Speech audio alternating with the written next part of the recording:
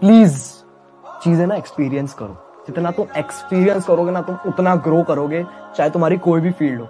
Literally कोई भी field हो, बस एक्सपीरियंस करो यार चीज़ें। कभी भी किसी चीज़ के लिए ऐसे ना मत बोलो कि यार ये चीज़ मुझे नहीं करनी, ये नहीं करनी। कंफर्ट जोन से बाहर निकलो और उस चीज़ को एक्सपीरियंस करो। अगर वो चीज़ बुरी भी जाती है ना तो यार तुम दस, पाँच साल बाद उसको याद करोगे और हंसोगे यार। तो वो चीज़ एक्सपीरियंस करो यार। क्या पता कुछ यू नो कुछ बाहर आ जाए ऐसा जो तुम्हारी लाइफ ही बदल देगा।